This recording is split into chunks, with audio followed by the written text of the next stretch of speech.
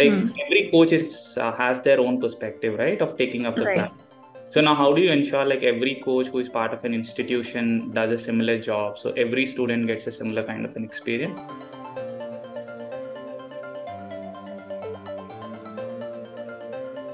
I think uh, product design in the EdTech space is, uh, I mean, uh, you have to see it from a bird's eye standpoint to understand like what exactly it is. So there are multiple layers to it. Yeah. So I'll just talk about a couple of things. Say for suppose now um, we have all been through schooling, right? So we all right. know teachers who come and teach, right? But most of the time, what so happens is there's not a lot of uh, teachers available for students, right? So the teacher-student ratio is one teacher for every 30 students is something that's recommended. Right. But that's not something that's quite achievable mm. at hmm. least at all parts right so and right. also the teachers are too stressed out uh, when it comes to preparing for the lesson they have to run behind from one right. class to class yeah so there the very crucial aspect that comes in is uh, because of the paucity of time student mm. I, I mean, teachers do not have the liberty to plan for their lessons yeah right and most of us through our schooling what we have only noticed is teachers come they teach not sure whether they have pre- prepped for it but uh, uh, what they teach in the class comes from uh, what? Their experience yeah? Right so not right. every teacher is capable of giving you a similar kind of a learning experience as uh, any other teacher. Some teachers are great some teachers are not great. So now the key question is how do you scale great teachers? Yeah? Right. And it's very difficult right? You cannot have great people always at every school every teacher right? Mm-hmm. so is there any value add that can be provided there so right. there the value add that comes is what's the kind of resources that uh, probably mm-hmm. we can create and those resources are something that comes really very handy for our teachers when they are kind of delivering so here the core aspect is uh, every student who is kind of taking up this material should have a similar experience and then the teachers uh, add a value to it yeah?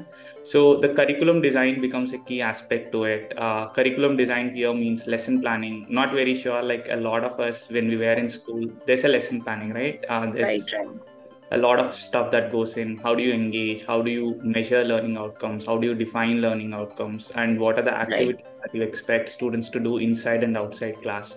And for all of this there's a lot of thought time that needs to be put in right now teachers uh, because they don't have time and is there anyone else who could do them to support this yeah so as right. a product designer that's one key thing that probably mm-hmm. uh, has to do so this is especially when it comes to learning from an academic standpoint yeah.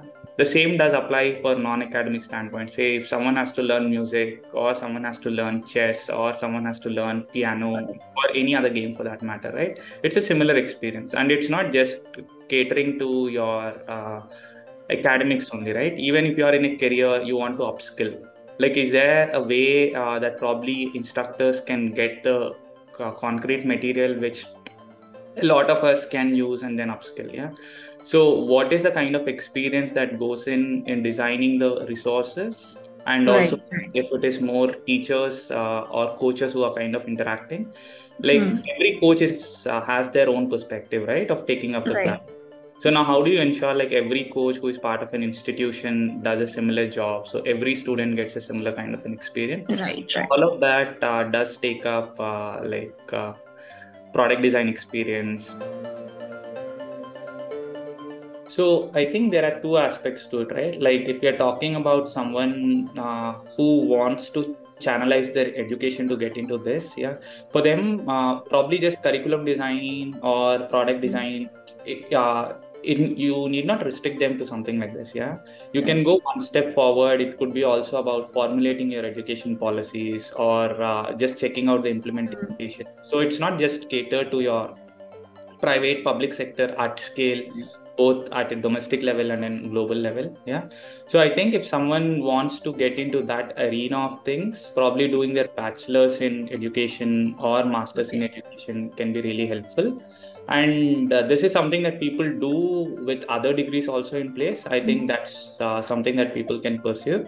And probably there are really good colleges uh, uh i mean maybe uh, not in india so much but outside mm-hmm. because i think uh, recently like there's a lot of focus on edtech uh, curriculum right. design i think here it would take some more time for us to get that sense of maturity in terms of courses that are being offered but there is a good opportunity elsewhere but someone who is in uh, middle of their careers or trying to switch they can mm-hmm. pursue learning design or instructional design certification okay. courses and probably that would be a lot helpful uh, not just someone who wants to do in the mm. They can be in the any field right? Any company would need upskilling or does need training. So anyone mm. with good instructional or learning design certification courses can get into any company. Okay.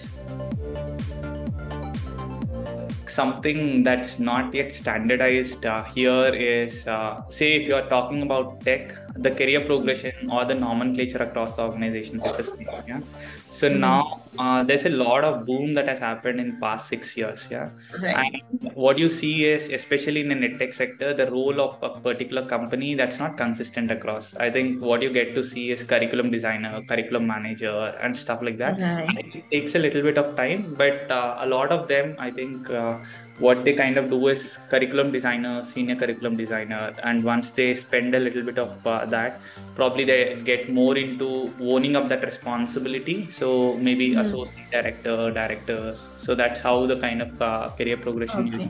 is like yeah in the pandemic what has happened is uh, mm, there was a need for a lot of uh, teachers who could teach, right? So if you have right. seen get uh, a lot of the tech products were on the hunt for getting educators on mm. the hmm. platform uh, at scale, right? So there were at times where uh, people were hiring 500, 800 educators for a product because that's the kind of a scale uh, that they were kind of looking up for.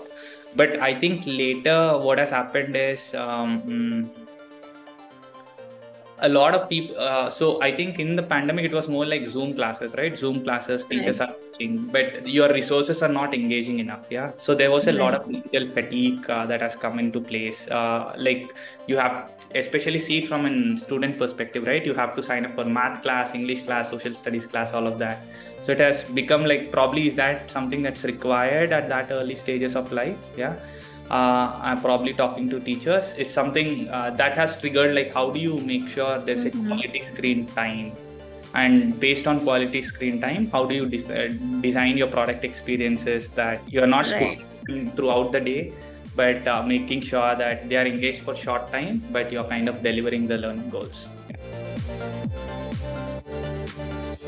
so as you have brought in ai right it's uh, you are you're kind of just checking out like um, how can you productively utilize to make things better? Yeah so that's one key aspect that's all always open as what is something uh, that can be done but apart from that the basic ground realities are something right? Uh, to one extreme like how do you see ai impacting uh, the learning outcomes?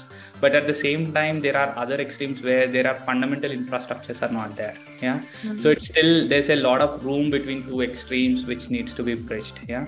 So I think uh, uh, a major part, uh, probably people what they kind to do is bridge this particular gap, make sure that learning experiences are met, and at the same time, like uh, with the advent of technology, uh, you'll have better tools that would again translate it into better execution at the grassroots right. level. So yeah, I think there's a long way.